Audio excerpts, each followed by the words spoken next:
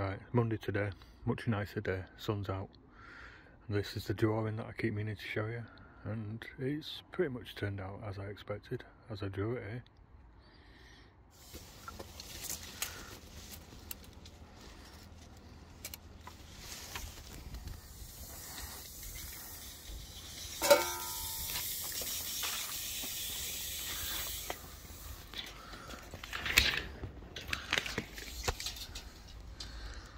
So that's about 5.30 to the inside of that timber there. So what I've done is just sat my timbers on top. That distance 5.30. I want these spars to be about 500 mil apart. And on my drawing I was looking at it and I've decided to go 90 degrees off the back there. I think on the drawing it looks okay and here think it's right.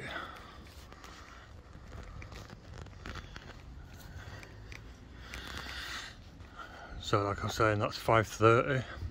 So I put these at 530 each one, 5 metres 300. So I put these at 530 millimetres and that should work out. I need to check each one, this gap's a little bit bigger for some reason. So what I can do now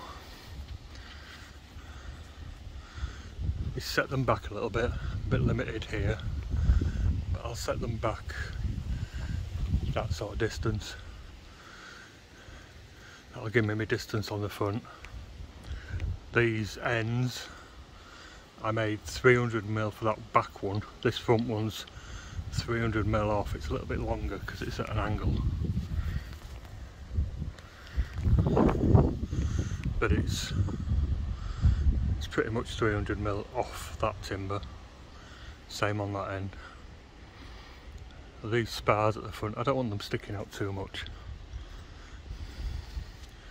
See that one down there? I might take 50 maybe 100 mil off the end of it. But I'll shove it back first. Cut them notch them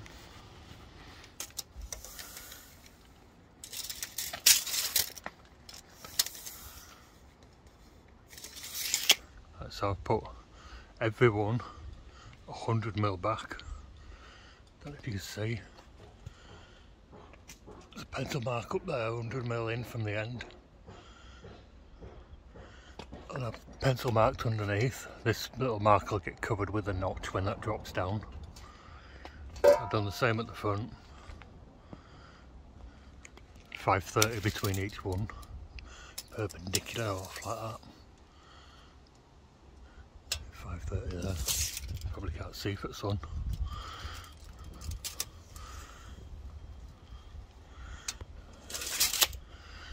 And I've made that 350. I don't want it too short, uh, I don't want them looking stumpy, I prefer them a bit longer I think. So I made that one 350 there, I'll run that through just probably, I'll probably just measure off 350 there. And then from that one I can run a string line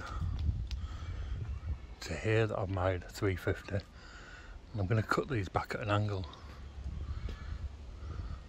I think. Might just cut them square.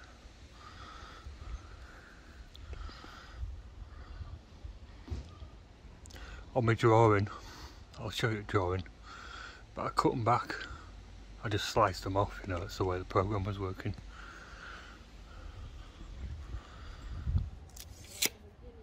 So that's centre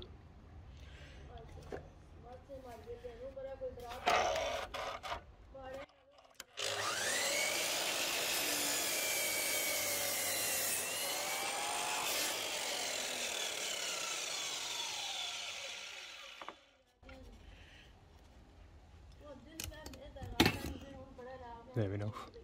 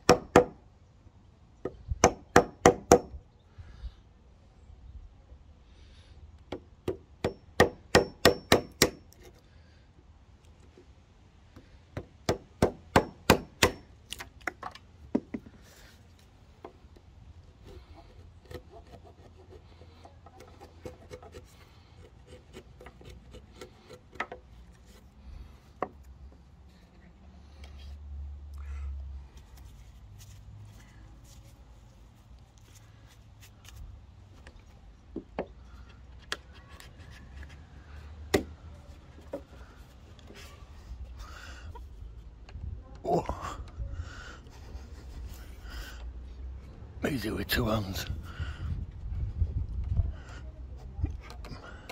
And a hammer.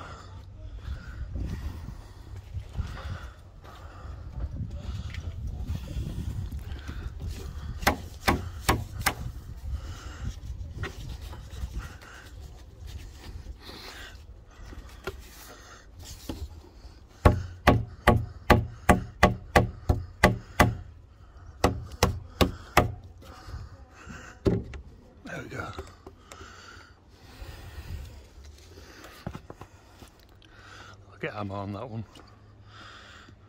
This wood's probably going to dry up a bit anyway.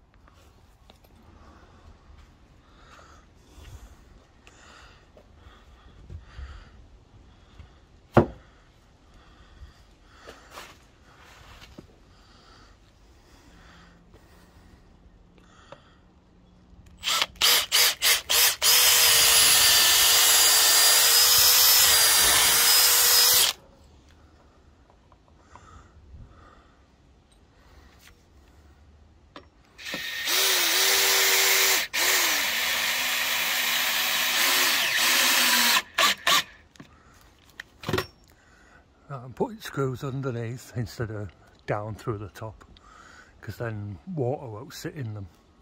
You know, I can't do much about where it comes to the wood at the top there into the other wood, but at least doing a hole at the top there where water's going to sit. It's underneath, any water will drain out.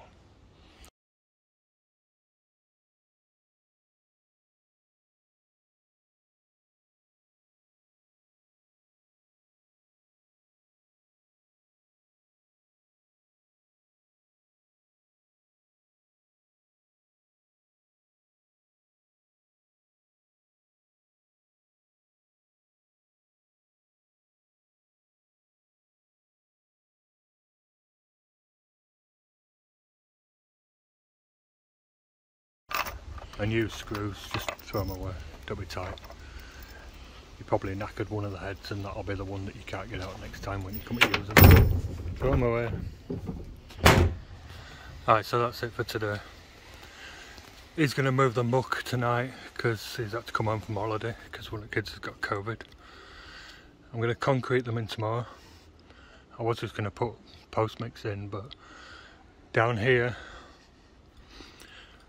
as says I'm building a bike shed and the ground's not level so I need to do some some kind of base thing. I think I'm going to actually pour a proper base or at least some stretches so I can get some timbers over, put wooden base on. This is the waste wood, spare post. I didn't know if I'd have to put two in that end. I decided not to in the end and that looks okay with two there. So spare post. Spare full size timber prefer have one too many, not rather than not enough. Piece of crap timber, got a big split in it, and some offcuts. They were unavoidable. And all the tile batten will go home with me. I'll use that on the next job. But tomorrow, like I say, sort the base out for that. Lets me, this concreted in. And I've just put the table back in just just to see. Table looks tiny now.